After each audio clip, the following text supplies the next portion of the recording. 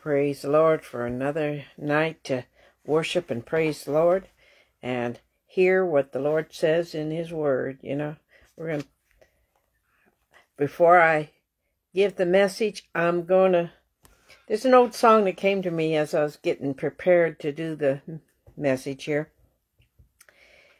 It came to me, an old song when I was growing up, and I'm going to sing it, and you can sing along too. And and share any of these videos that I have teaching and preaching on. And this is great is the Lord our God. Great and mighty is the Lord our God. Great and mighty is he. Great and mighty is the Lord our God. Great and mighty is he. Lift up the ban- banner, let the anthem rise. To Christ our King, great and mighty is the Lord our God, great and mighty is He. Great and mighty is the Lord our God, great and mighty is He. Great and mighty is the Lord our God, Great and mighty is he. Lift up the banner, let the anthem rise. Praises to our King. Great and mighty is the Lord our God. Great and mighty is He. He is great and mighty. And I'm going to talk to you a little bit and whatever God has me to say, but it's good, good word tonight. The phrase He gave me to preach on is pure word. Have you ever heard that term, pure word? Probably not, because I don't remember ever hearing it too much. I know you've heard someone else say you can count on me, or uh, my words are true, or that, or uh, or any other similar phrases like that. That you that I'll, I'll tell you the truth and things like that. But I'm going to be speaking about the pure Word of God, the Bible. I'm going to be speaking about the Bible, and I'm just going to be able to highlight some things, but we're going to, hopefully, you're going to get something from the Lord and receive. Man has tried to change it, tried to rewrite it, and even in, misinterpret it to fit their own desires. Many have said that the Bible is not rev- relevant and true. Even my own daughter recently said that the Bible was not true and just another book. And it kind of shocked me because that's not like her. But I knew it was the spirits that she has to deal with, some things.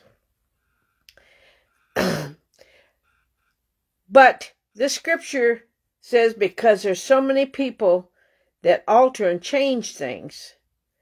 This is what is important in the word. Several scriptures, both two times in Deuteronomy, one Deuteronomy 4 2, and then 12 3, both says in that ver- verse, you should not you should not add to it or add to the word that I'm giving you or even take it away from it. And even Revelation says if you take away any of the words of this prophecy, there in Revelations or anything in this, a lot of the word, word of God is prophecy. That's why I put this one in here. Any, take away from any of these words and change it and do what you, you don't want to listen to. God will take away his, your part from the tree of life from that holy city. That's pretty harsh to think about. Man has tried to change God's word, like I said.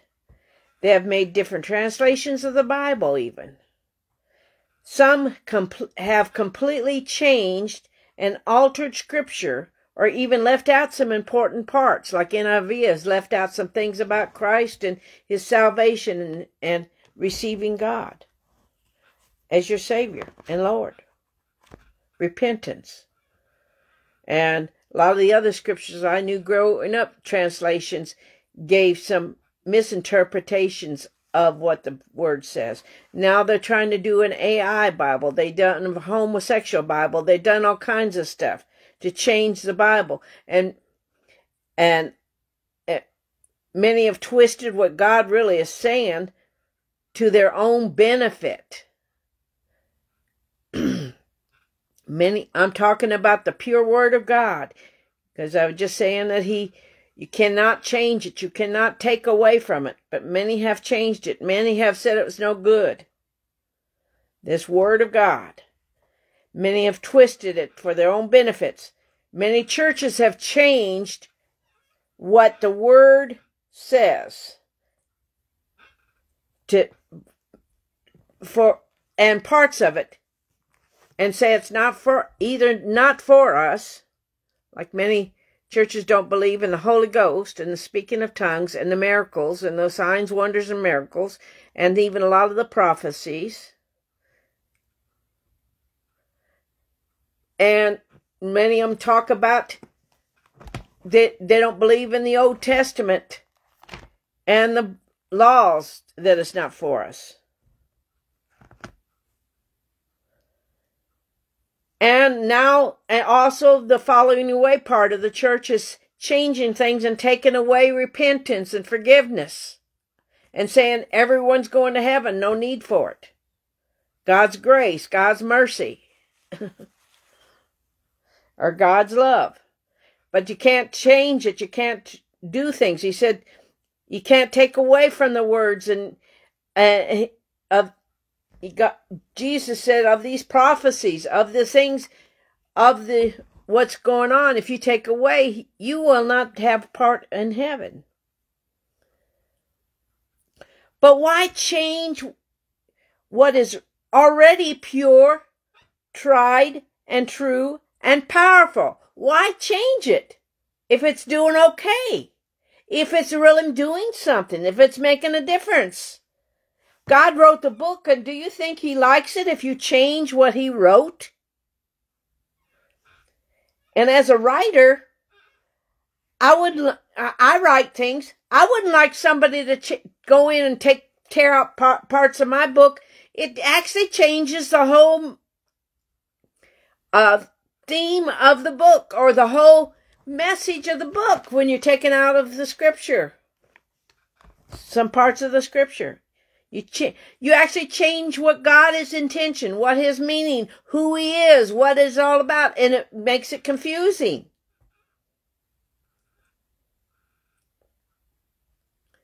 But his word still stands after thousands of years. God said he was the same yesterday, today, and forever. So why won't his word stand forever. Isaiah 40 verse 8 says, The grass withers, the flower fades, but the word of our God stands forever.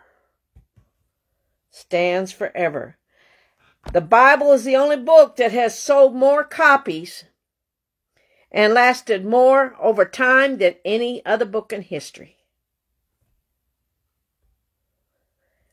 And even Jesus said in a couple of places in the Gospels that heaven and earth may pass away, but my words will never pass away.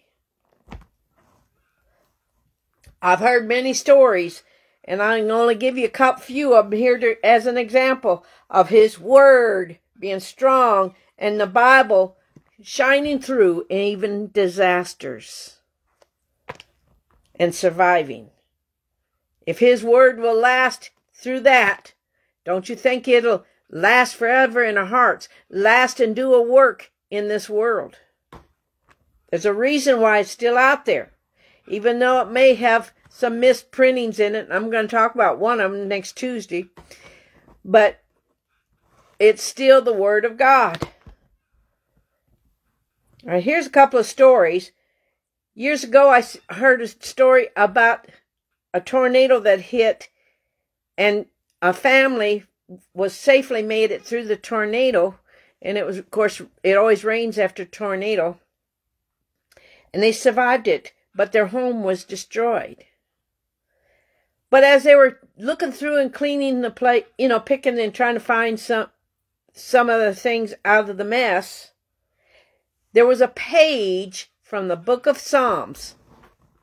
I don't remember anymore what chapter it was, but there was a page from the book of Psalms uh, out of the Bible laying on the ground, but it was a Psalms that meant a much to that family. It was one of their favorite Psalms.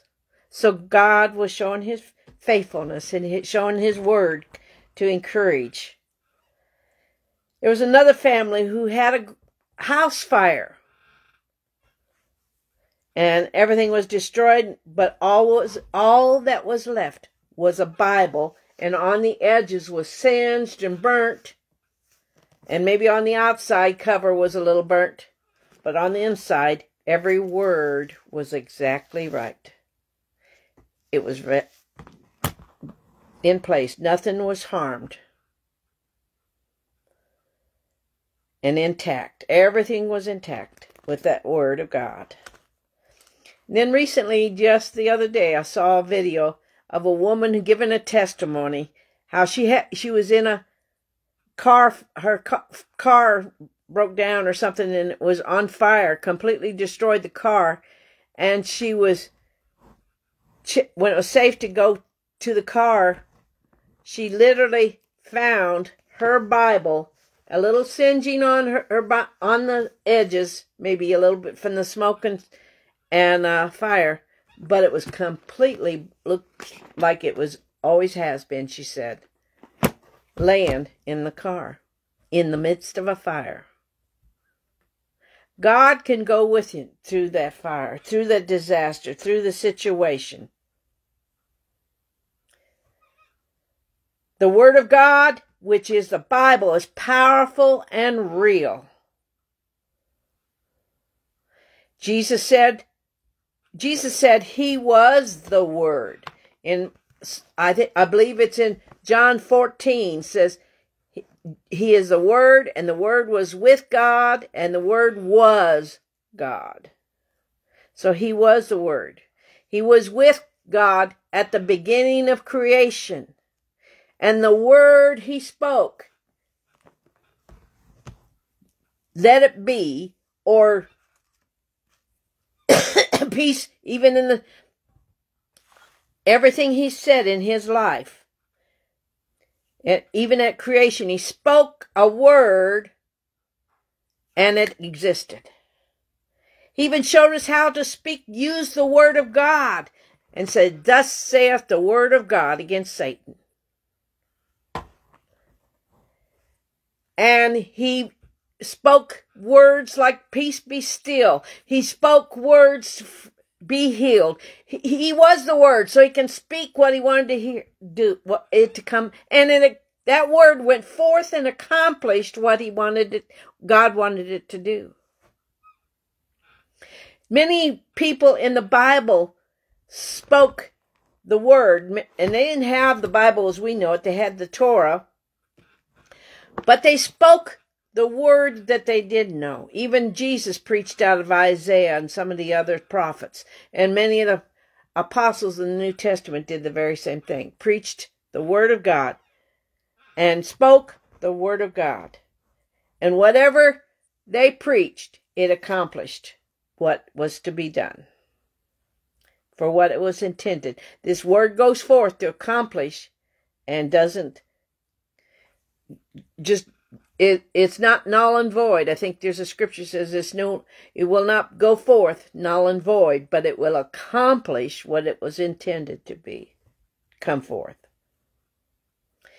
To show how powerful it is too in Hebrews 4 verse 12, and I'm going to read I was going to uh, read it out of my regular Bible, but I'm going to read it out of the Amplified because it gave it such meaning for some of the terms that was used.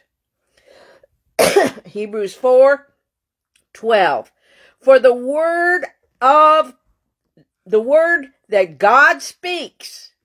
See, he's speaking when he, this word speaks. Is alive and full of power, making it active, operative, energizing, and effective.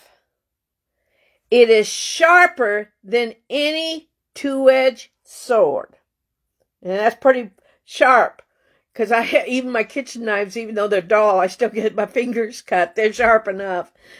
So a two-edged sword, I sure would cut myself. two-edged sword is a blade that has on both sides of the blade is a sharp edge. It penetrating to the dividing of the breath of life, our soul, and the immortal, our spirit man, and of joints and marrow, of the deepest parts of our nature, the deepest part of who we are, exposing and shifting and analyzing and judging the very thoughts and purposes of our hearts. They talk about many times lately, I've heard stories like uh, different ones that, well, what was their intent? Nobody can know the intent, but the Word of God and, and uh, God can burrows into our uh, our hearts and knows exactly why we do things, why we do the Word of God, why we do the things we do. I'm going to read that again. How powerful it is. Hebrews 4:12. For the Word of God speaks, is alive and full of power, making it active, operative, energizing, and effective. It is sharper than any two edged sword, penetrating to the dividing of the breath of life, our soul, and the immortal, our spirit, and of joints and marrow, of the deepest parts of our nature, exposing and shifting and analyzing and judging the very thoughts and purposes of our hearts. That's how powerful this Word of God is. I have personally through the years seen reading the Word, especially when you need to hear a word, you need to hear something, and you are to be encouraged to read something, and it's like, wow, and did something to your spirit. It makes changes in your life. It can make changes in in the way you do things. It can make changes in your thought life and the way you think and what you want to do. And also, I've seen it when I've spoken it, like here in the Word of God, and teaching it and speaking the Word of God because it is powerful and goes forth to do some accomplished work.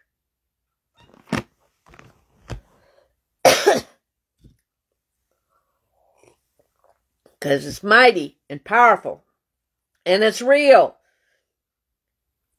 And that's what I'm saying. It's real and it really pierces the heart. It really does something in our spirit man and even in our physical man. Because he, the hear, uh, when we hear the word, it builds our faith. When we see the word, we teach the word and follow the word, we grow. All right. The scripture is also pure and many other things. I'm going to go through a few of those things. It's pure. When I say pure word, what does that really mean? That's the title of our message, pure word. First of all, what does the word pure mean? In the dictionary, it says the word pure means not mixed or adulterated with any other substance or material. It is free of contamination. Doesn't that sound like the Word of God? Why do you think, you know, they have on the Bible, uh, Holy Bible, and many, this one don't specifically, but, uh, on many Bibles, it'll say Holy Bible on the front. How pure and holy. Because what is it? Is free from uh from substances or materials that would violate it or contaminate it or change it. The Bible defines pure as a refined as being refined or tested. And I'm going to read you the one scripture that it has and a few that shows test, replaces it with testing or being, but the, it defines the word pure as refined and tested. Psalms 12, 6. The words of the Lord are pure words. Why do you think I said pure word? The words of the Lord are pure words. The silver tried in a furnace on the earth, refined seven times. That's how pure it is. You know, with metals and uh, precious metals, golds and silvers, they'll put it in a fire and melt it and refine it and take out all the dross or the uh, slag and all the uh, dirts and whatever the, that causes it not to be pure. But he said it, the word is like doing that with the silver for seven times. And it said that also in Proverbs about the wisdom and the word being refined like silver. Refined many times. It has been tested many times. It's been tried many times. Psalms 18:30 As for God his way is blameless. The word of the Lord is tried or pure. Tried and tested. He is a shield to all those who take refuge in it. David did many times. You can speak go through some of the scriptures he has, how mighty and great he is, how his word worked for him, how he went and looked unto Christ, God, how all these scriptures are good to encourage our hearts. It's tried. We can use it as a shield against the enemy.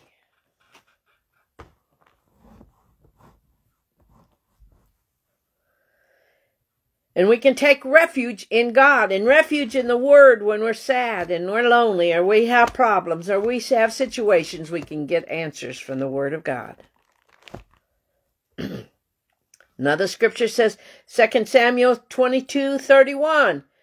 As for God, his way is blameless or holy.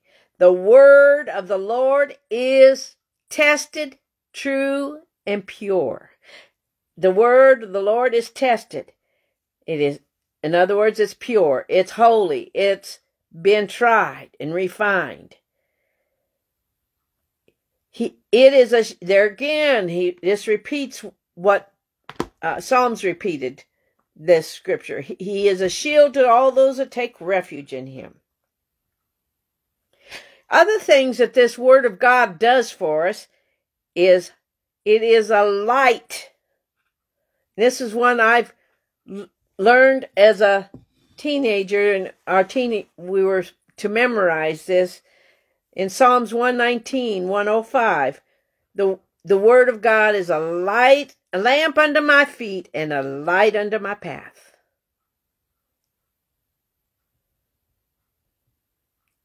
And then in Psalms 19 talks about it it, it enlightens our eyes. It opens our eyes and helps. Wow.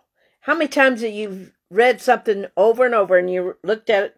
Wow, that I don't remember seeing it. It, it opens your eyes of revelation and gives you what you need to see. It purifies.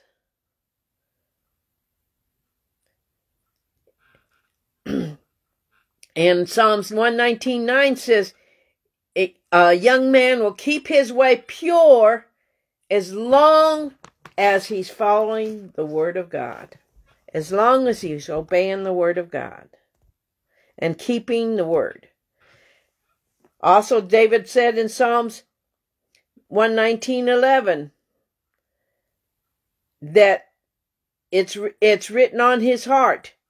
Deuteronomy said, said God said it would be written, the laws and the words would be written on their hearts. But David said this that I what I quote a lot, thy word have I hidden that hidden in my heart, or it's laid in my heart, it's stored in my heart and put in my heart that I may not sin. That'll keep me pure. It'll keep me going. It'll keep me from sinning. It's trustworthy.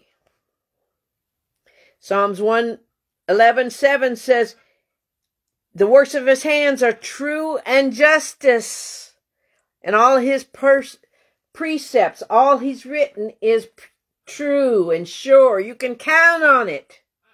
You can count on it. It will never go away. What did I say? It's forever. You can count on it and stand upon it. There was a, uh, uh, I can't remember her name, uh, but she was a singer, and I, I like. I've kept had a couple of her songs that we used in church. That she says she said when she was going through cancer, and she was at four stage cancer and couldn't deal with no more. She was, her husband found, gave the story that he found her in the bathroom standing on her Bible, standing on the word.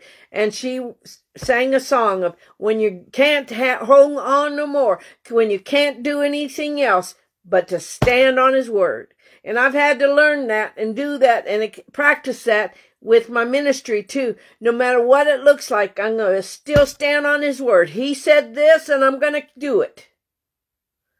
No matter what others and had tell me to give up or do this, I'm going to still stand on because he said it. And I'm going to believe it. I, I can trust it to, to be true and holy. He gave me scriptures to go by that I can stand on his words and know that they're true. Even one last night that the brother was quoting something and the Lord quickened my spirit about that uh, God would restore. See, he, he uh, restore seven times what the enemy has stolen. God had told my husband and I that many times through the years.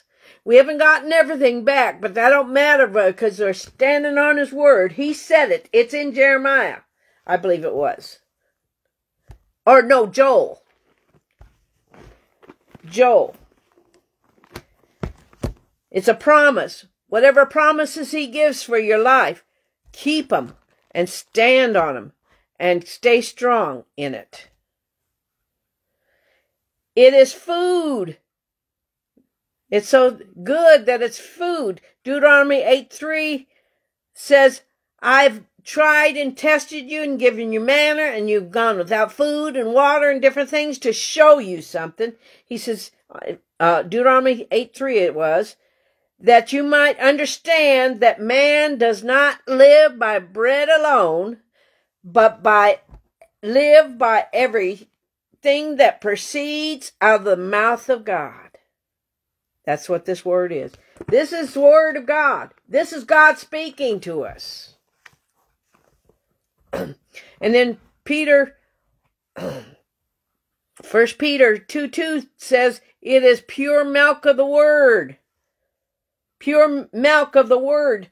So we can grow in respect of salvation, that we can grow because just like a baby, we have to have the simple stuff first and then the stronger stuff.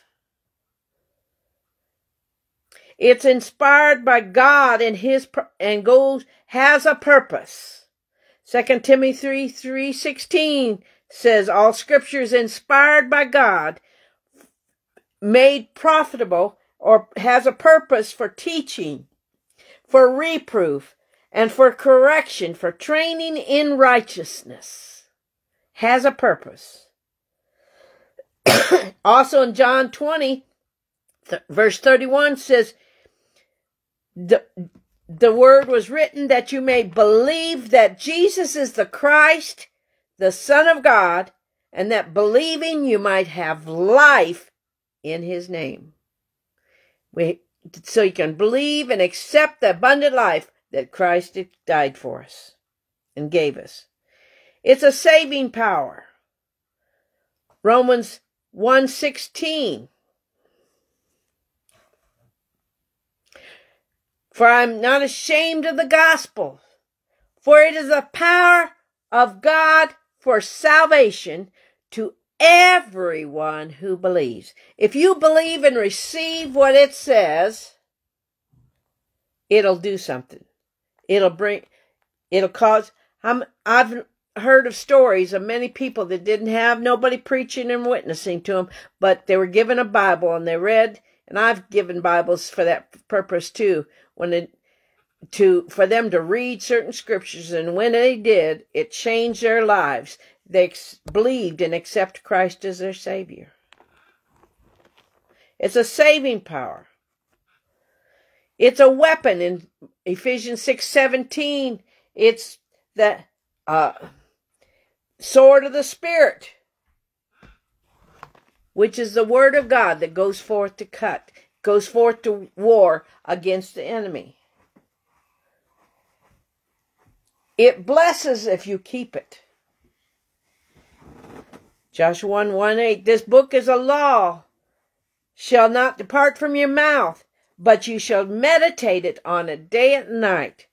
That means you're, if you meditate on it, you're going to actually apply it to your life.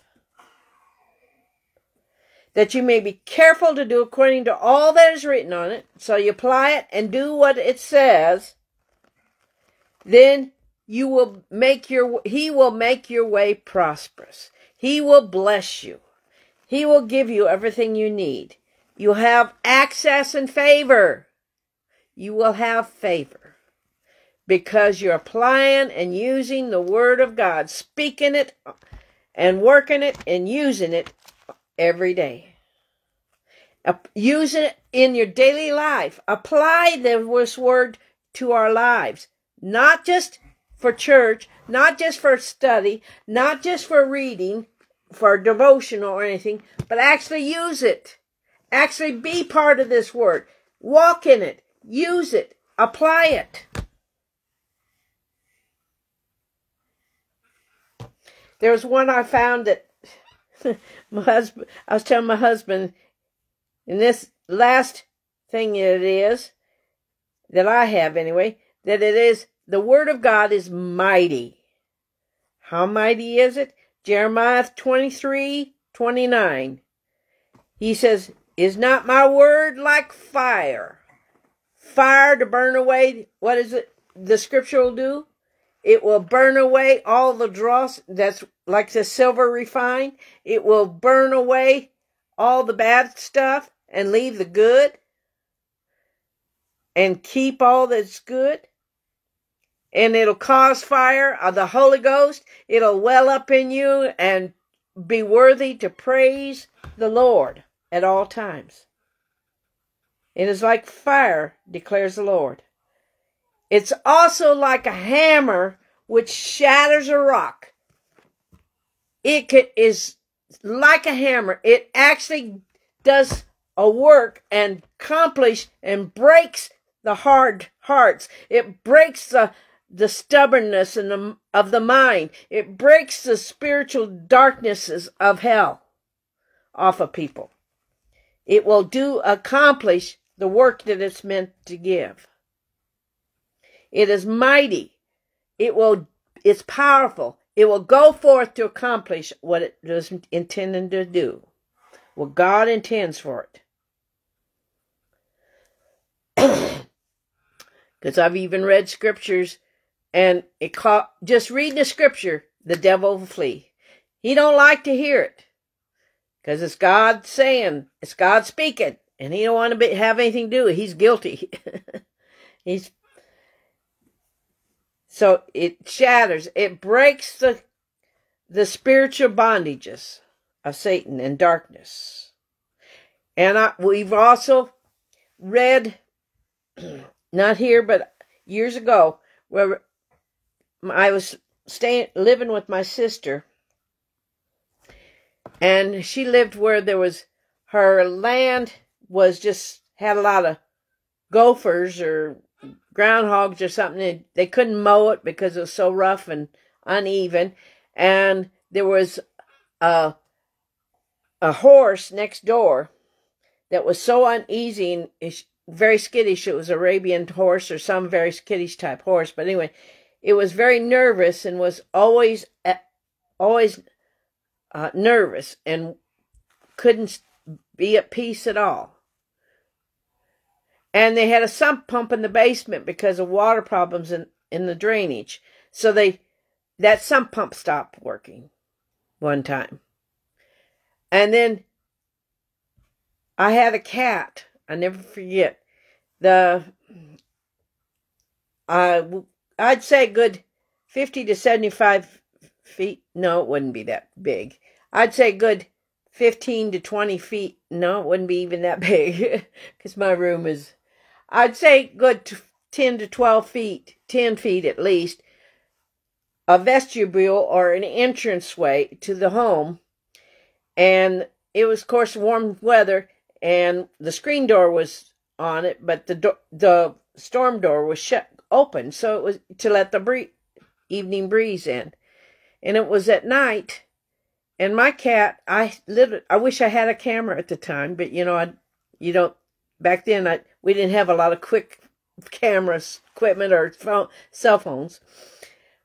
But that my cat literally was standing up on the screen and looking out, and all of a sudden he started walking with his two front paws up in the air, almost, you know how uh, cats will either hiss or act like something's wrong standing and walking backwards the whole distance of that entrance little room. And right after that, I was feeling in the spirit that there were some spiritual problems in that land and in that area. And I, I recorded Psalms 91. I read I audibly read it with the authority of God and on a tape recorder if you know what that is, it's it's an old fashioned way of recording things.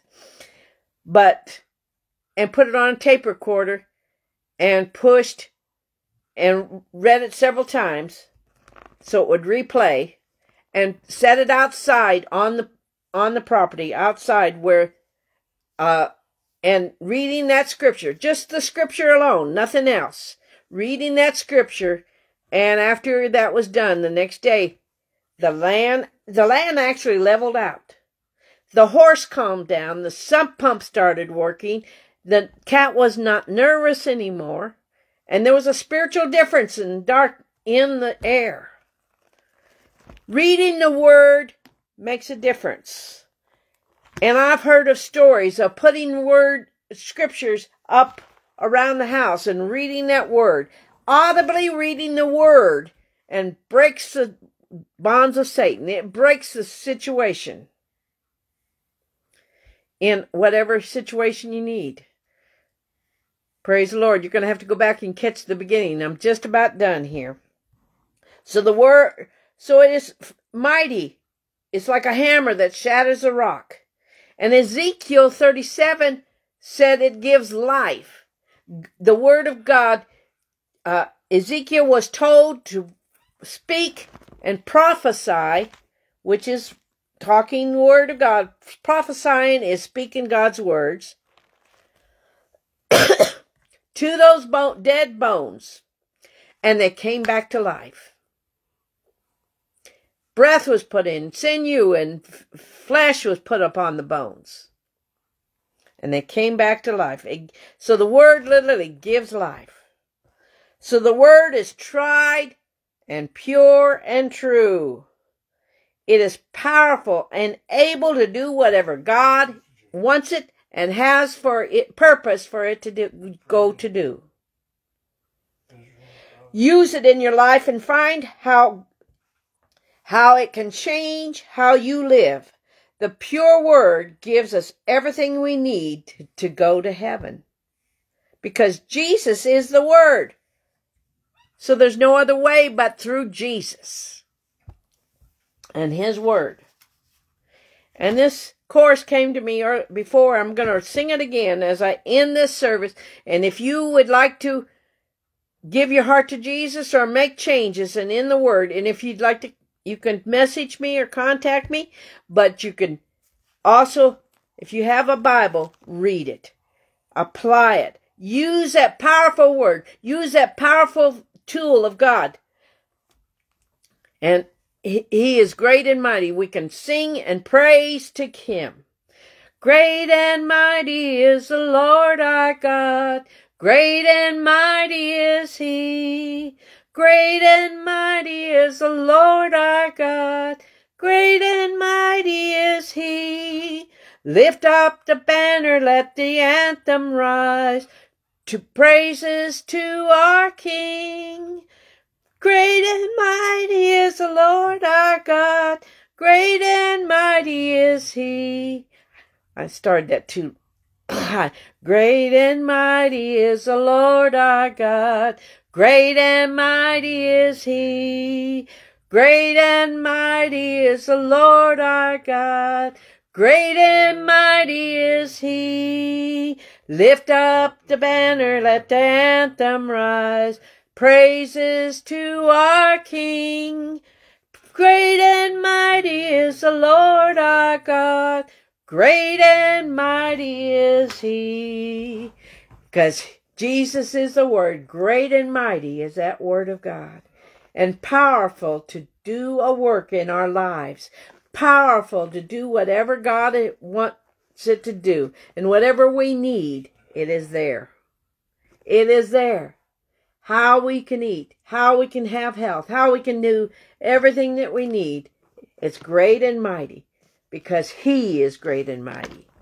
God bless you.